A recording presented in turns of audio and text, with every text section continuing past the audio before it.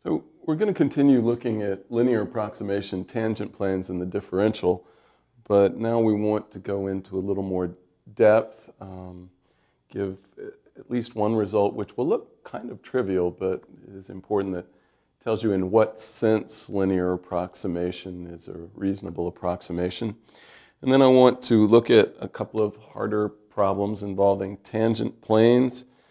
And then I want to talk about some differential approximation problems, but before that, um, introduce how the differential is frequently written. Um, it's uh, okay.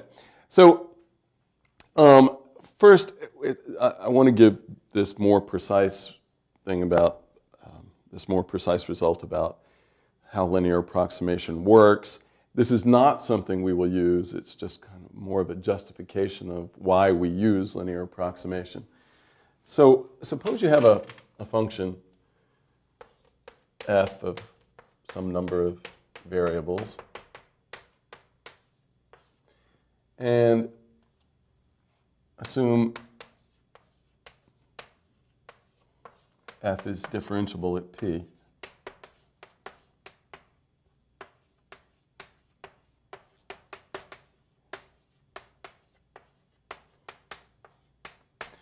Then uh, linear approximation, uh, or at least one way that we've written linear approximation, is that if, so linear approximation,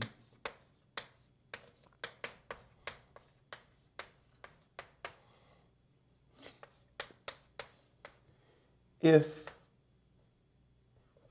the vector h is close to 0, so it is close to the 0 vector, then f of p plus h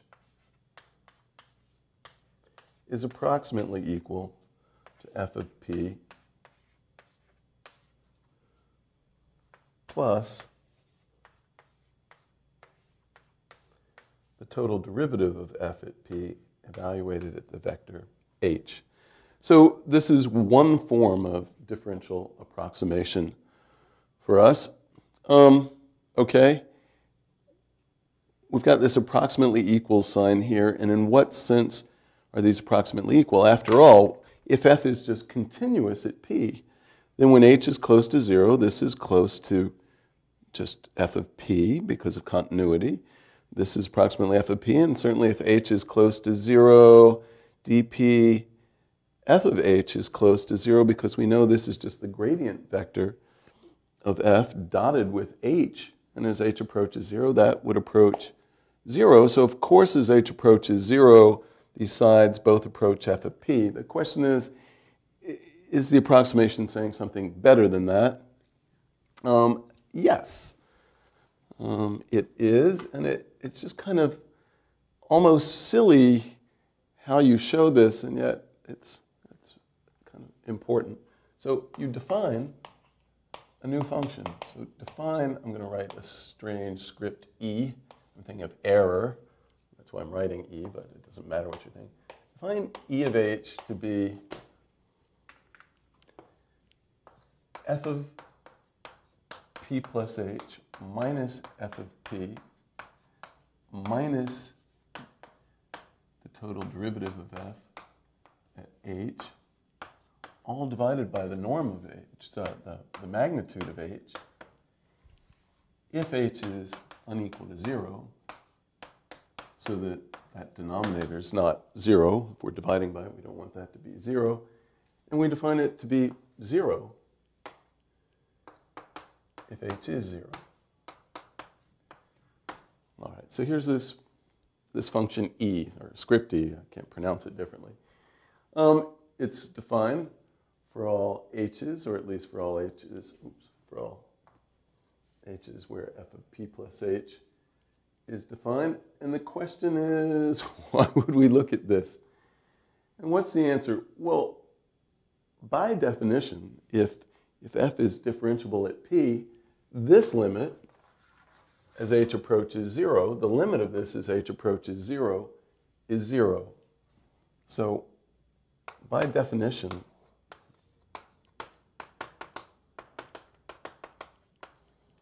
of f being differentiable at p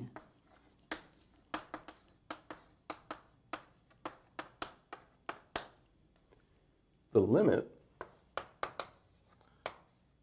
as h approaches 0, or the magnitude of h approaches 0, uh, those are the same, limit saying that h, the vector h approaches the 0 vector and saying that the magnitude of h approaches the number 0, the same statements. The limit of e of h is 0 because it's exactly what it means for it to be differentiable um, and what the total derivative is, that if you put magnitude signs, so absolute value signs around that numerator, that limit approaches zero, but that means this approaches the zero.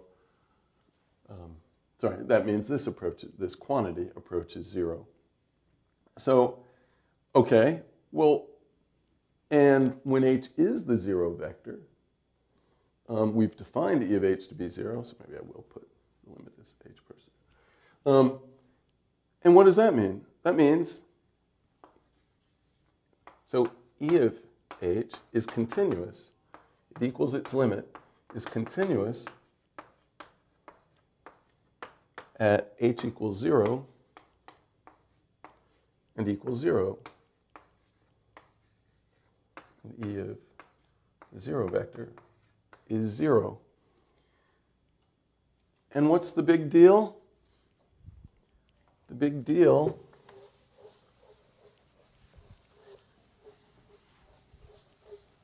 is, well, you can just look at it. It's rigged. It's rigged so that f of p plus h equals f of p plus the total derivative of f p evaluated at h plus the magnitude of h times e of h. Right? It's just rigged to make this true. If you subtract these two terms from both sides and divide by magnitude of h, you get exactly the definition of e of h um, for h unequal to 0. And certainly when h is 0, this is f of p, that's f of p, this is 0, and that's 0. So, so this equality is true for all h. And this is what we were headed for. And you might go, of what use is that? The point is that yes, as h approaches 0, this part approaches this part, but how fast does it do it? And you might think, well, it does it just because the norm of h is approaching 0. But as h goes to 0, this part approaches 0 because the norm of h is approaching 0. But this is a continuous function whose value at, it's continuous at zero, and as h approaches zero, this approaches zero. So the point is that how good is the approximation of this is approximately equal to these two terms? You might think it's just a matter of h being close to zero, but this part goes to zero and that part goes to zero. So it's like there's a, a squared effect there of two different things approaching zero. In particular, this term approaches zero faster than just the norm of h, um, the magnitude of h. If you divide this error part by the magnitude of h, you still get something that approaches zero. All right, that's just, this is just a nice form for theoretical results, and it does kind of make it clear that, oh, um, this approximation um, is good up to something that goes to zero faster than h. All right, I think I've beaten that into the ground enough. Now what I'd like to do is actually look at uh, just a couple of examples of tangent planes and tangent sets that are more complicated than what we've already looked at. Um, so let me look at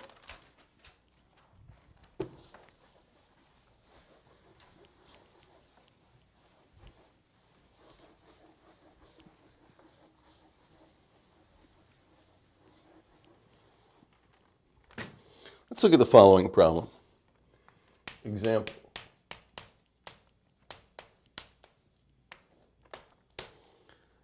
Determine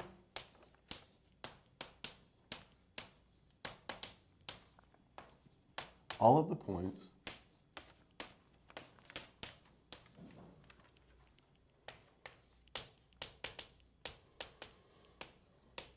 At which the tangent plane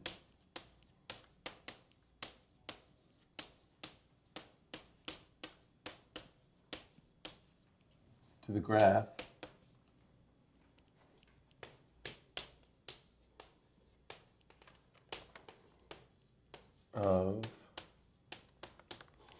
equals 5x over x squared plus y squared plus 1, at which the tangent plane to is horizontal.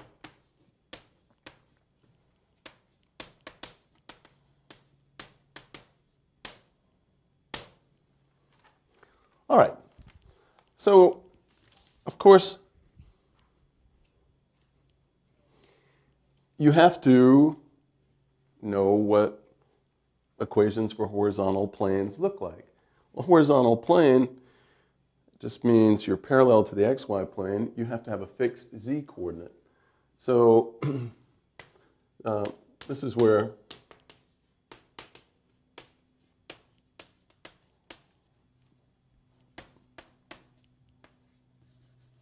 where an equation for the tangent plane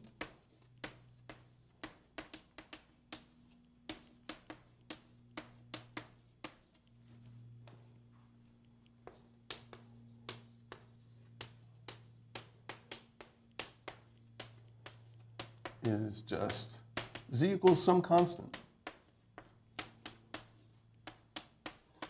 That's what equations for horizontal planes look like.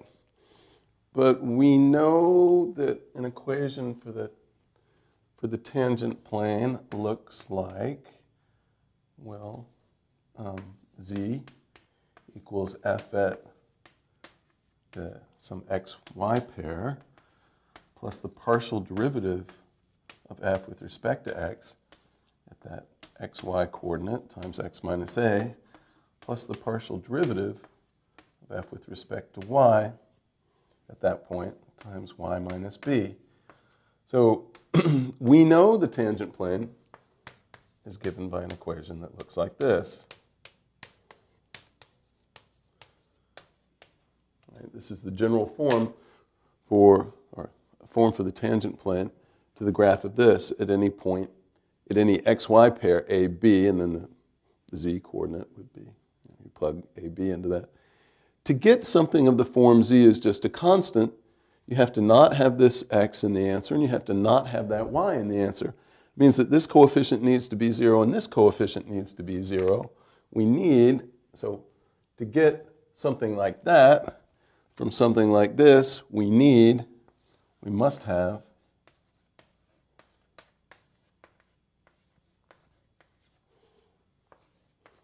the partial derivative with respect to x at the point and the partial derivative with respect to y at the point. We have to have both of those equal to 0.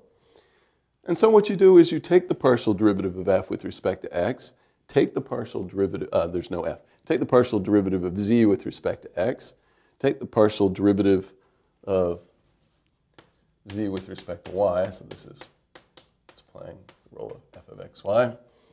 Take the partial derivative with respect to y, set them both equal to 0, and solve simultaneously. And that will give you the, the x and y coordinates of the points you're after, and if you want the z coordinate, which really you should have, um, the points at which the tangent plane, those should be points in space. So you plug those x and y pairs back into the original function and get the z coordinate. So that's what we do.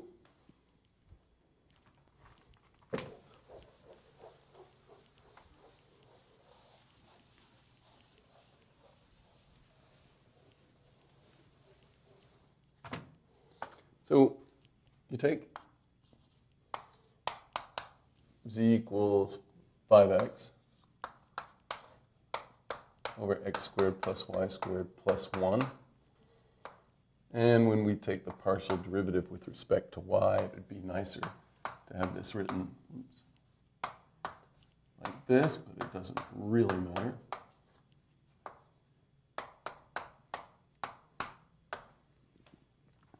Then the partial derivative with respect to x. All right, I'm going to use the quotient rule. It is the bottom actually, I'm going just pull, I should have pulled out the 5 in the first place, which won't affect, 5 won't affect where things are equal to 0, so I might as well pull that out. Um, so now let's do the bottom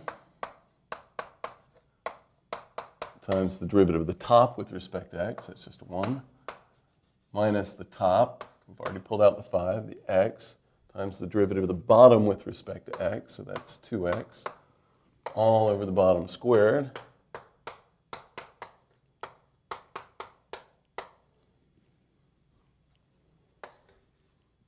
So you get 5 times, then you have an x squared and a minus 2x squared, so you get a minus x squared, and then plus y squared, plus 1, all divided by x squared plus y squared plus 1 squared. And the partial derivative of z with respect to y, whether you do the quotient rule again or whether you write things in this form first, um, you get, here's the 5x, which is just a constant as far as y is concerned. Then you would, you would use the power rule, so minus 1, you get a minus 1 times x squared plus y squared plus 1 to the minus 2. But then you have to multiply times the derivative of the inside stuff with respect to y, so you pick up a, a times 2y. So what we end up with here is there's a 10, and then you've got xy uh, minus a minus 10. Go ahead and minus 10. A minus 10 um, times xy, and then divided by x squared plus y squared plus 1 squared. So you get, you get this, um, and then we need to set both of these equal to 0 and solve simultaneously. So you set this equal to 0, and you set this equal to 0, and you solve. Now it looks a little complicated until you realize these denominators don't affect whether the fraction equals 0 or not, and certainly the denominators are never 0, so the, the partial derivatives exist. For these two things to be 0, we need the numerators to be 0. We can ignore these non-zero constants out in front. We need these will be simultaneously 0 if and only if we need minus x squared plus y squared plus 1 equals 0 and x times y equals 0. Now in general it could be hard to solve two equations that aren't linear in two unknowns, but this one's easy. This one says either x is 0, y is 0, and then you plug that in over here and see what the other variable has to be. So there are two cases. So there's case 1, x equals 0 over here. But if x equals 0, then over here you get y squared plus 1 equals 0. Well, that can't happen.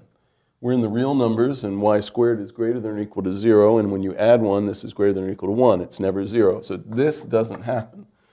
But the y equals 0 case, right? From this equation, you get two cases. Either x is 0, y is 0. This was the x equals 0 case, and it can't happen. But then there's the y equals 0 case. And if y equals 0, you plug that in up here, you get minus x squared plus 1 equals 0. That's the same as x squared equals 1. And so x is plus or minus 1. So we found two xy pairs at which the tangent plane would be horizontal. Uh, 1, 0 and minus 1, 0.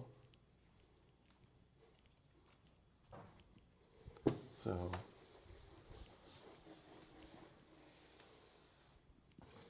uh, we get horizontal tangent plane, abbreviating wildly, a horizontal tangent plane when xy equals 1, 0, and there's a horizontal tangent plane where xy equals minus 1, 0. Um, the z coordinates would be nice to find those. The instructions seem to indicate we want them. So let's go ahead and just plug those in. When x is 1 and y is 0, you would get, all right, when x is 1, you get 5. And when y is 0 down here, you get uh, 2.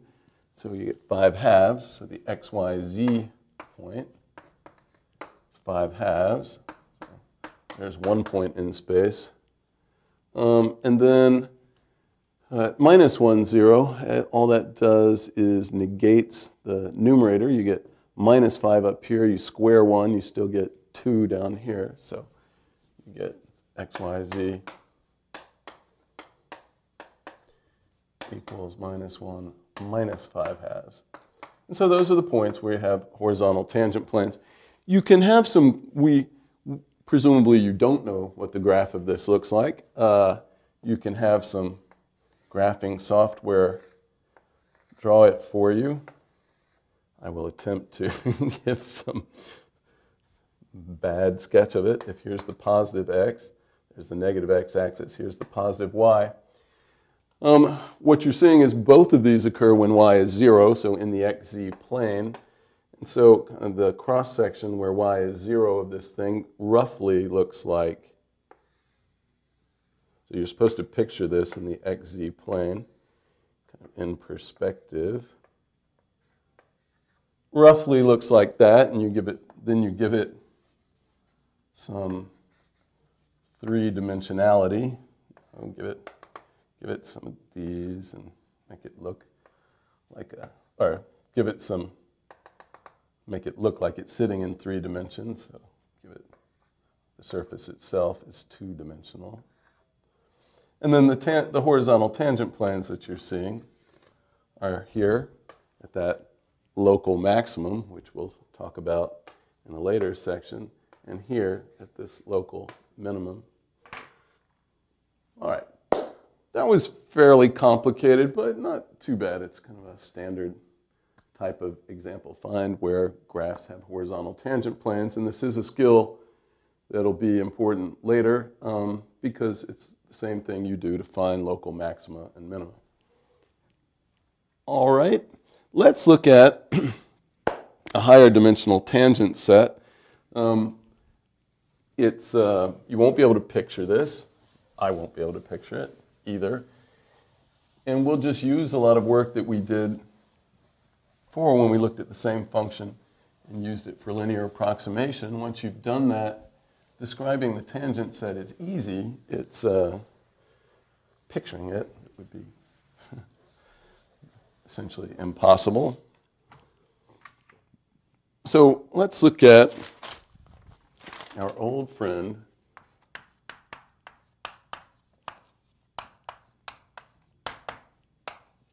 z equals g of x1, x2, x3, x4. So this would be our x vector. Um, or maybe I should write, here I'll just write an underline to think of it as a point, not a vector. Um, and the function is x2 e to the x1 plus x3 times the cosine of 2 pi x. Um, and we, you know, so let's describe the tangent set.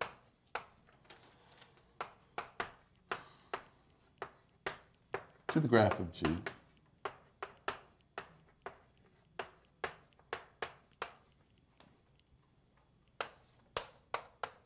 At the point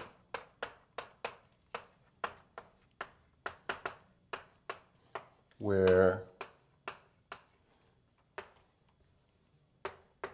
x is so the same point we used when we found the linearization 0, 1, minus 2, 1. Okay? Um, describble. I like that word, describble. Maybe though describe would be better.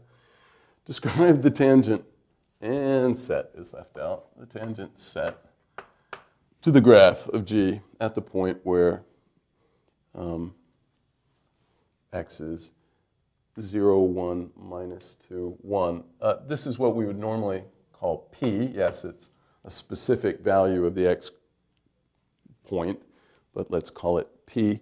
Well, we looked at the linearization of this before.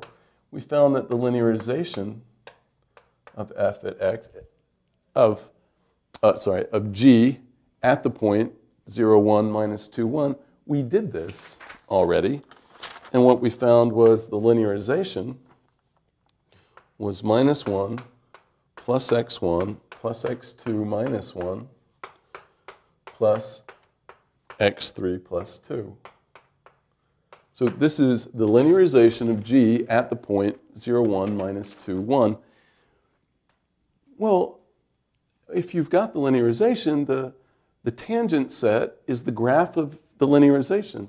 So remember that x, the reference to x4 dropped out because the coefficient in front of that part was 0, but you still, there's still an x4 kind of here. So maybe I'll write L of, it's just that the value of x4 doesn't play a role. So, um, but the tangent set is the graph of the linearization. And, and so what, what does that mean, the graph of the linearization? We can't picture it. The tangent set, it's the set, it's what you do for functions of fewer variables. The tangent set is the set of points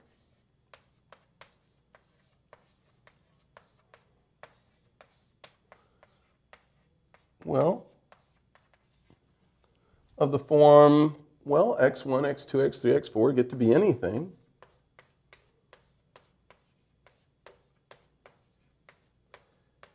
But the z coordinate, or the next coordinate, right, the graph sits in one higher dimension. The graph of a function of two variables sits in three dimensions. The graph of a function of one variable sits inside two dimensions. The graph of a function of four variables sits in five, inside five dimensions. And the, the fifth coordinate is just the value of the function. So, at, so it's all the points of this form in R5, five-dimensional Euclidean space. What is that? Well, it is what it is. It's the set of all points of that form. Um, in five-dimensional Euclidean space. I realize that's unsatisfying. You can't picture it. That's the way it is with higher dimensional examples. You don't picture them, and then what you write may look a little trivial or unsatisfying, but that's what you get. All right, what I want to do now is, is talk about differential approximation more, but first I need to kind of um, talk about the notation for differential approximation or for the differential itself for a while, and then I want to do two examples. So we had differential approximation, and yet really I haven't called anything just the differential. I mean, you can call the total derivative the differential at a point, but I use them slightly differently. Some people don't. So let me remind you how linear approximation looks as differential approximation. Differential approximation was just that the change in f, so delta f, is approximately the differential of the function unto the change in the variable, so the change in the, the, the vector that you're applying the total derivative to when you start out at an x coordinate that's near p. So that's how differential approximation looks. I want to, I want to rewrite this side. So let me, let me do that. Um, so we have the total derivative of f at p, and you evaluate it on some vector, which I think of as a velocity vector. So, and we know it's given by the gradient of f at p dotted with this vector. And that means exactly that this is given by partial derivative of f with respect to the first variable evaluated at p times v1 plus the partial derivative of f with respect to the next variable evaluated at p times v2, and then you add all of these together times the partial plus the partial derivative of f with respect to xn evaluated at p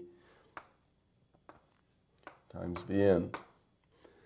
I would like to rewrite this instead of having the reference to the individual v's here. I would like to have something that's a function done to the vector v so that I can then stop writing the v's on both the vector v on both sides of the equation. And you do this by recalling one of our examples. We had xi equals the ith coordinate function.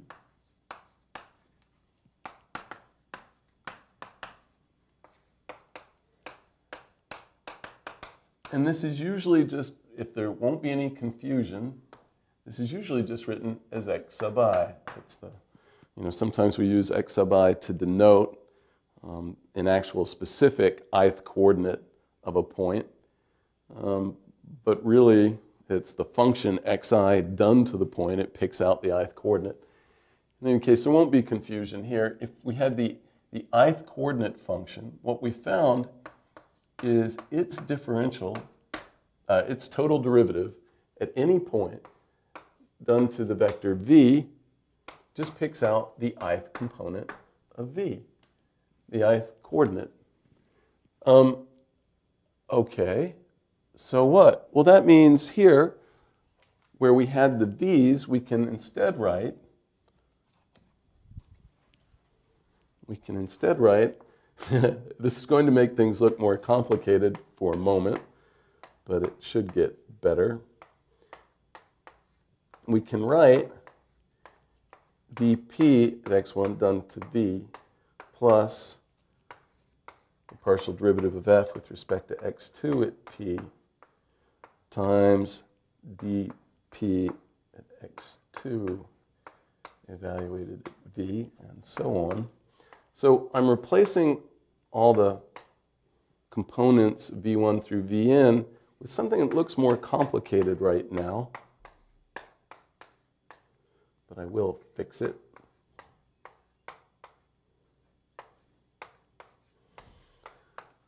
All right, so you can write this. Fine. Okay, what do we do at this point? First of all, the, the total derivative of the ith coordinate function picks out the ith component of the velocity vector regardless of the point p that you're at. So essentially no one bothers writing the point p here because it doesn't affect what you get. So um, it would be very non-standard or fairly non-standard to reference a specific point p since it doesn't affect what the, the total derivative does. So for that reason, you could drop the p's on all of these differentials. But we're actually going to drop the p's everywhere. We know that, yeah, we evaluate all of these at p, and yeah, these should be the, these, these total derivatives of the coordinate functions at p. But since everything's at p, we just remember that everything is done at p. And you don't write the p's on either side of the equation. You just write df equals, and then you erase all the references to p. So what you get is something that looks significantly simpler, just because you don't have all those p's floating around. But you remember that it means that for each p, you get the equation we had, that you put in the p's on the partial derivatives and on these total derivatives of the coordinate functions. But, oops, same, I had trouble doing that. But at the same time, well, maybe I won't do that. Let me go ahead and write. I was going to do two simplifications at once, but I'll wait.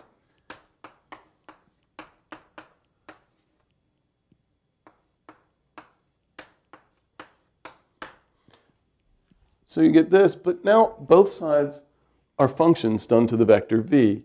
And so as functions applied to v, you can erase the v on this side and erase the v's on the other side. And just remember, when you evaluate at a velocity vector v, you plug it into the functions on both sides. Of course, that's what you always do with functions. And so what people write is just df equals the partial derivative of f with respect to x1 times dx1 plus, I didn't write the x2 one a minute ago, but I can put them in as many as you want.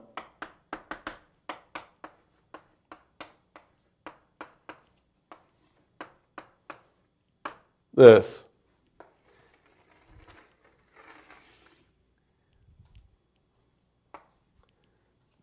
Um, and, and if you want, you can write this in gradient notation, you could write this is just the gradient vector of f dotted with d of the x vector.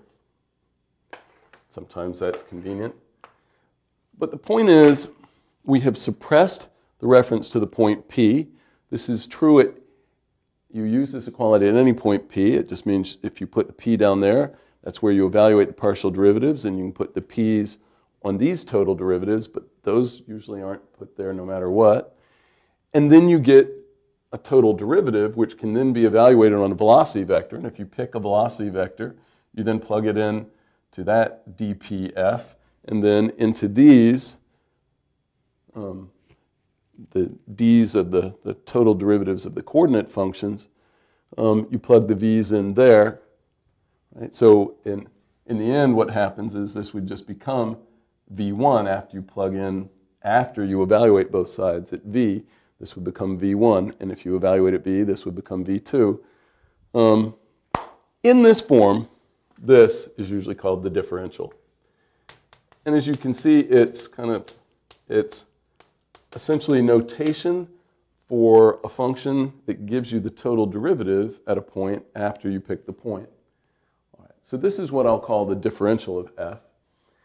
And so, um, how does differential approximation go? Well, you just you just calculate df, not at a point p at first. Then you calculate, then you um, evaluate everything at some point p. Then you will plug in on both sides. You evaluate on the velocity vector. That's the small change in x vector. And what you'll get is the approximate change in f but when you evaluate this side on the approximate change in x vector, you can think of it as each of these dxi's gets replaced by a small delta xi, right? Because when you, when you evaluate on an actual delta x vector, evaluate that, it just picks out the delta, you get delta x1 here.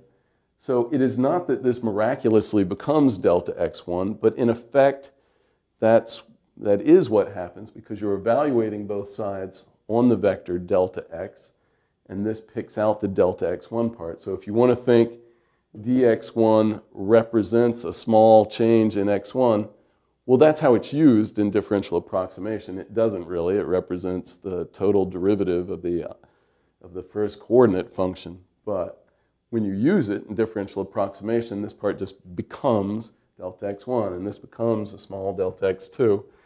All right, so I'm trying, this is an explanation of the notation that you see all the time, this differential notation. It takes a while to say it, but it's easier to use than it is to say all that stuff. Um, so let's do an example. First of just using, well, yeah, let's do an example, kind of using our notation and then doing differential approximation.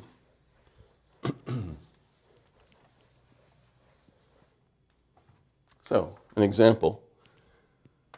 Let, oh, a Greek letter, omega, if you want to think W, okay, but it's really an omega. Let omega of x, y, z equal e to the x squared y times the sine of pi z over 2. All right, so questions we'd like to, what is the differential d omega? What's the differential at the point 3, 2, 1 of omega? So, you know, this is the total derivative. We might still say differential, but the total derivative of omega at the point 3, 2, 1.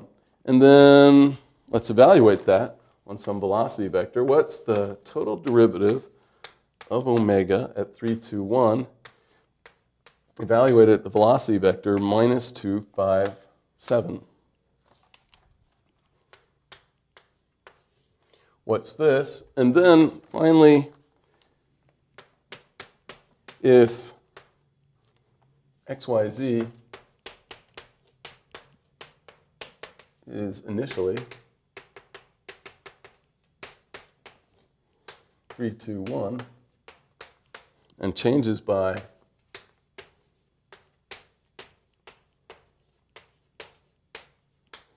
delta xyz equals something small, namely minus 0.02, 0.05, and 0.07 approximate change in omega. All right. So this will use our kind of various, you know, the total derivative, the differential notation, evaluating at points, plugging in velocity vectors. And then here's differential approximation. By the way, it is not a coincidence that that change vector, the delta of xyz vector, is one hundredth of this. If you divide each of these components by 100, you get that change in.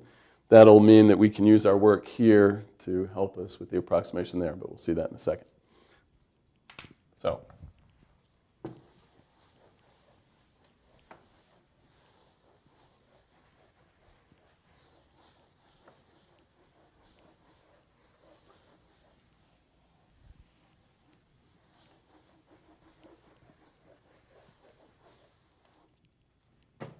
All right, what do you get? All right, we've got omega is e to the x squared y sine of pi z over 2 d omega, the differential of omega. You take the partial derivatives of omega with respect to each of its independent variables, and you just multiply by the corresponding differential of the variable.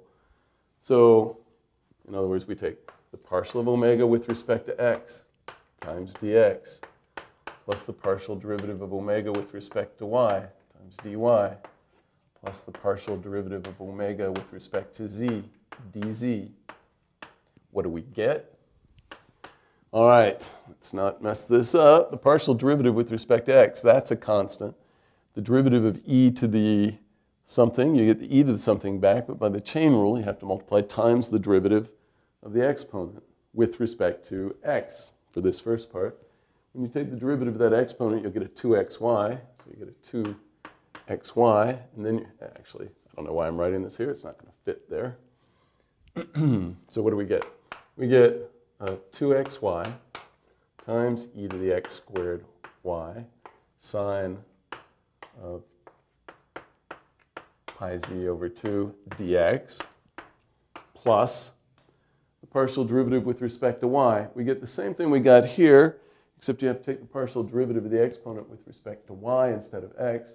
So instead of a 2xy, we just get an x squared. So you get an x squared e to the x squared y sine of pi z over 2. That's times dy. And then finally, need to take the partial derivative with respect to z. Well, then this part's a constant as far as z is concerned. And you get an e to the x squared y. You get a the derivative of sine, cosine. The inside stuff stays the same. But by the chain rule, you have to multiply times the derivative of the inside stuff with respect to z. So you'll pick up a pi over 2, which I'll write out in front, and then times a dz. So that's the differential of omega. All right, uh, I don't want to rewrite that, but to evaluate this at a point, so the second part of the problem was to evaluate this at 3, 2, 1. So once you have the differential, evaluating it, looking at the total derivative at 3, 2, 1, means evaluating each of these partial derivatives at 3, 2, 1. It does not mean doing anything with the differentials, dx, dy, and dz. Those get used when you apply this to a velocity vector v. Before that, they just sit there.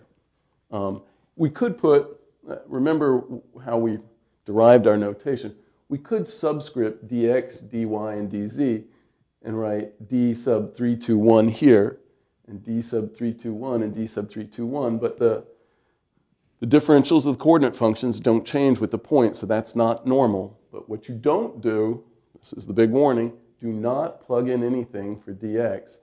The 321 does not affect that. These will just go into the partial derivatives. So uh, let me just plug these in and not screw this up. When x is 3, y is 2, x is 3, y is 2, so this is 18.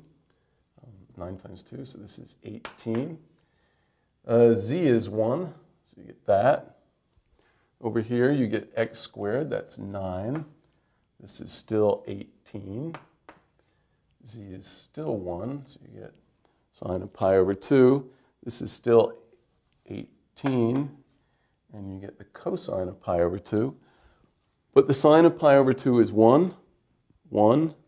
The cosine of pi over 2 is 0. So that part, so this is 1, this is 1, this is 0. So the reference to dz drops out, and what we're getting is that the total derivative of omega at 3, 2, 1 is uh, 12 e to the 18th times dx plus 9 e to the 18th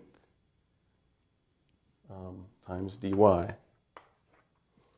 If you want, you can factor out a, a 3e to the 18th and get uh, it's 3 e to the 18 times 4 dx plus 3 All right, so that's the total derivative at the point 321, or the, you can say the differential at the point 321.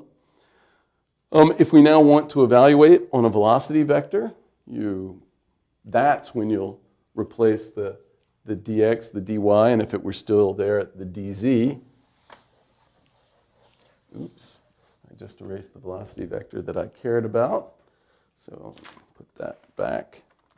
Um, what's d 3, 2, 1 of omega evaluated at minus 2, the velocity vector minus 2, 5, 7?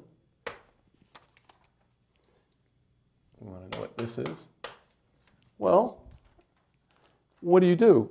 It means you evaluate, you plug in minus 257 for velocity vector v. So over here, it means, oh, we had d 321 of omega. And you evaluate this on the velocity vector, minus 2, 5, 7. That means you evaluate these differentials on the velocity vector, minus 2, 5, 7. But those, these differentials just pick out the, the corresponding components in the velocity vector. So if you plug in minus 257, in the x position you have minus 2. So when you evaluate dx on that velocity vector, you just get minus 2. And when you evaluate dy on that velocity vector, it just picks out the y coordinate. So you get times 5. Or what's the same thing over here? You get dx is minus 2, and dy is 5. So you get 15 minus 8, so you get 7 times 3, so you get 21 e to the 18th, which is huge, nonetheless. That's what we were getting. Um, 21 e to the 18th. That. Okay, great. That's the total derivative, or the differential of omega, at 3, 2, 1, evaluated on the velocity vector, minus 2, 5, 7. What do you do for this? Well, this is just differential approximation, which says that the change in omega is approximately the differential at kind of the starting point for the x's at 3, 2, 1 times uh, of omega evaluated on the change on the change vector. so the change in x, y, z. But that vector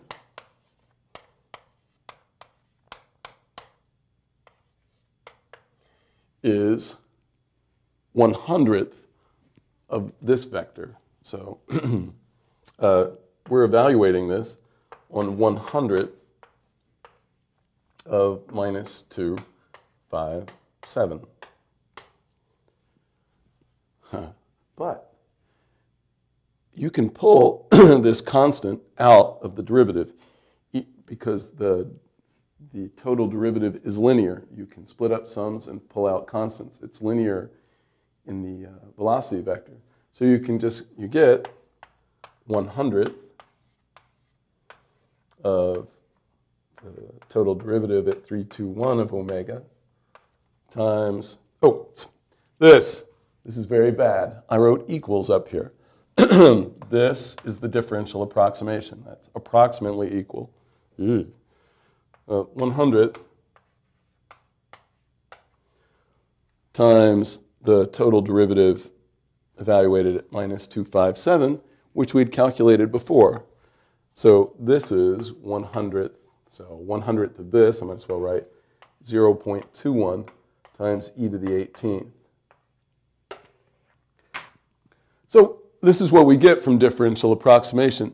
Now the numbers are huge, um, so maybe the approximation isn't too good as far as in an absolute sense, but it might be good in relation to the actual value, might be relatively small in relation to the actual value of omega itself at 321, um, which is e to the 18th.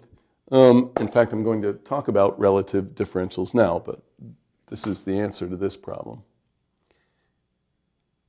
All right. So, yes, this number is huge, and you would expect then that, yeah, we said like a, you think kind of a small change in x should correspond to a small change in your function. Well, this isn't small. On the other hand, it's small kind of in relation to the original value. If you plug in x, y, and z, 3, 2, and 1, you get e to the 18th times the sine of 1, uh, times the sine of pi over 2, which is 1. So you get e to the 18th. So if you look at the ratio of this change, this approximate change, divided by the original value, then you get 0.21, and that kind of seems small. Um, so we do look at this. The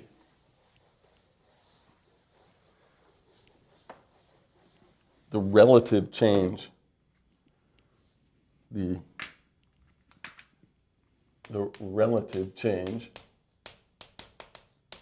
in a function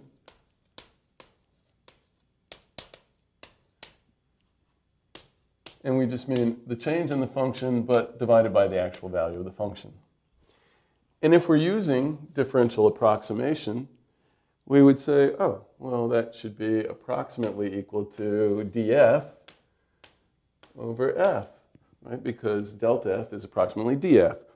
but what we mean by that is, yes, at a point P where the F values start and evaluated on a small change in X vector, this is what you write. And this thing, df over f, is usually referred to as the relative differential. And in a lot of physical applications, this is what you care about, the relative differential or the relative change in the function, not its actual, the actual change in it. Because if something starts out in the trillions, then changing by one isn't such a big change. On the other hand, if you start out with something that's about a half, then a change by one seems like a big change. So what's a, a typical problem? Let's just look at a kind of a standard application type problem. Um, the power loss across a resistor um,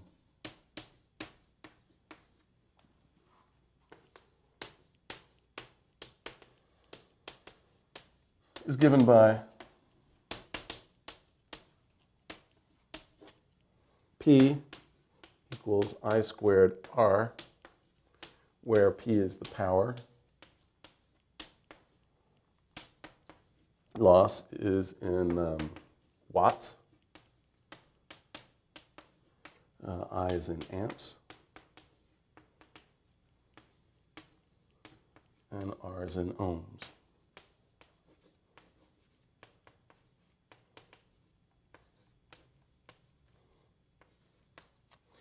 So suppose you've got this, and then suppose suppose I move to a different board.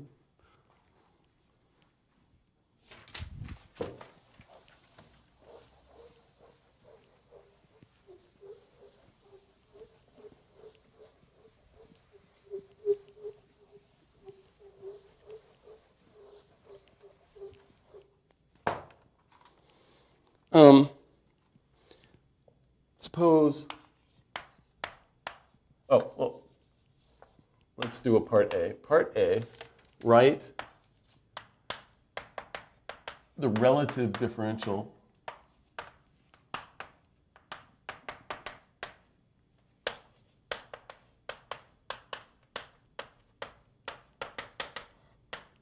of P in terms of the relative differentials of I and R.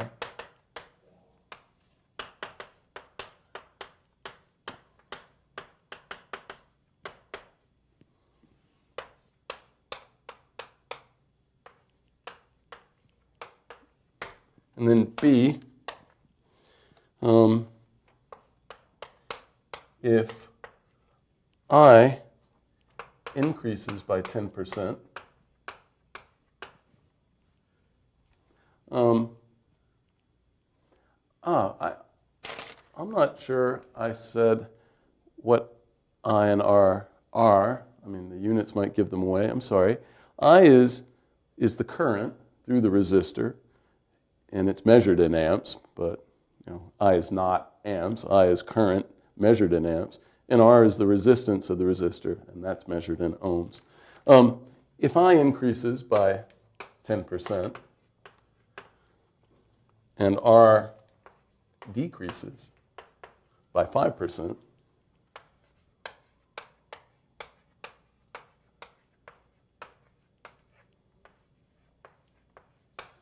approximate the relative change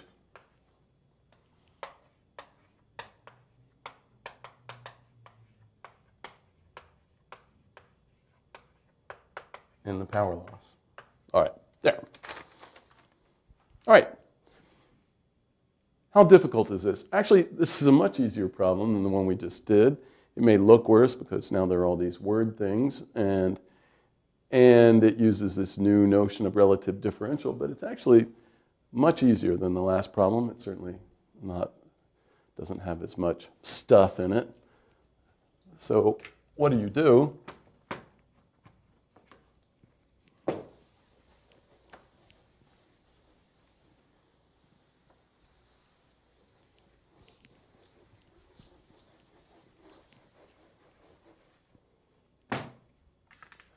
We take p equals i squared r. So what's the differential of p? It's the partial derivative of p with respect to i times di plus the partial derivative of p with respect to r, dr. But you can just write those easily. This is the partial derivative of p with respect to i is 2ir. You still have this di. Then plus the partial derivative of p with respect to r, i squared times. And you still have this times dr. So that's the differential of p. We want the relative differentials. So you divide by p. So over here you divide by p. Over here you divide by p, but you put in what p is in terms of i and r. It's i squared over r. So you get this divided by i squared over r. Great. So what does this tell us? It tells us dp over p, dp over p is, right, if you divide this side, oh, if you divide this part by this, the r's cancel, um, one of the i's cancels, and you're left with 2 times, so the r cancel, one of the i's cancel, but you're left with di over i. Well, that's good, because that's the relative differential of i. So you just get 2 times di over i plus, and then you have i squared divided by i squared r. The i squareds cancel, and you're just left with dr over r. Well, this is the answer to part A. This. And it's kind of cool how, how simple this comes out to be. dp over p, the relative differential of p, is 2 times the relative differential of i plus the relative differential of r, which is very nice. And then what do we want? We want if i increases by 10%, so now we need to do part B. And it's if i increases by 10% and r decreases by 5%, approximate the relative change in p. Well, all you do is write delta p over p is approximately dp over p. And you're going to evaluate on the velocity vector that you're given, but what are you given? You're given that you're, you're given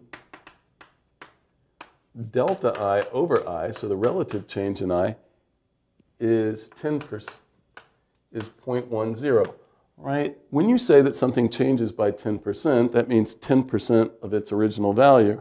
So saying that i goes up by 10% means delta i, if you put this i over there, that delta i is one tenth of i. Yeah, or delta i over i is 0.10.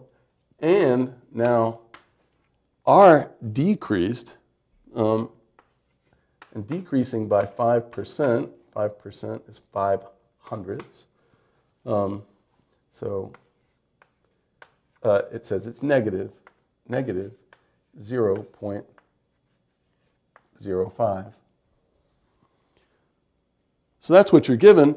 And then, yes, you evaluate those differentials at that delta I and delta R, but the effect of that is what it was before. It's just that the di gets replaced by delta i, and the dr, when you evaluate, gets replaced by delta r. And so you just think this becomes, when you evaluate, that this becomes delta i over i, this becomes delta r over r, and what you get is that this is 2 times 0.10 minus 0.05. And so you get 0.20 minus 0.05. So that's 0.15. That means that delta P over P is approximately 0.15. So the answer to the question, approximate the relative change in delta P, delta um, P changes by approximately changes. This is goes up because we got a positive number, it goes up by approximately 15%, right? It's, it's nice to phrase these things in terms of percent because in ordinary speech, when you say percent, you mean of the original value. So p changes by approximately 15%. You know, what we really were getting is delta p over p is approximately 0.15. Um, you might wonder about the units. I haven't had any and in the answer, and the answer is, the reason for that is there aren't any. You know, sometimes you shouldn't do algebra with units, but here it's nice because this is in watts, that's in watts, so it's always unitless. In fact, the, the relative differential and the relative change in something always is unitless because the numerator and denominator always have the same value, so it's kind of nice. P changes by approximately 15%, regardless of what P was measured in. All right, that is all of the um, deeper stuff that I wanted to go through in this section. Um, we're done.